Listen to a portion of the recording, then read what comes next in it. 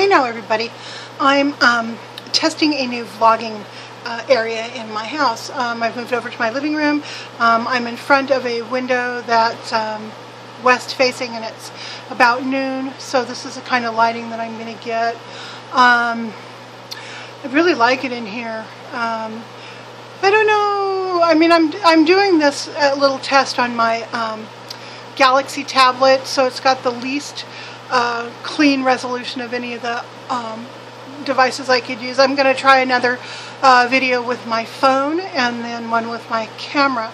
And I've actually never vlogged with my camera, so uh, that'll be interesting. Um, okay, and not announcements, um, messages. Uh, uh Gabby, I um, I haven't done I haven't done the challenge, the ice bucket challenge thing, um, in part because I, when I got challenged, I was having a gallbladder attack, the first one of my whole life, and um, and I'm just I'm still kind of coming out of that. I've been um, not feeling really well, kind of um, a lot of pain and just real tired. So um, I am definitely going to do it. I'm also going to respond to that other video. I am like so so behind. I'm so sorry. So anyway, I have a lot of stuff I want to share.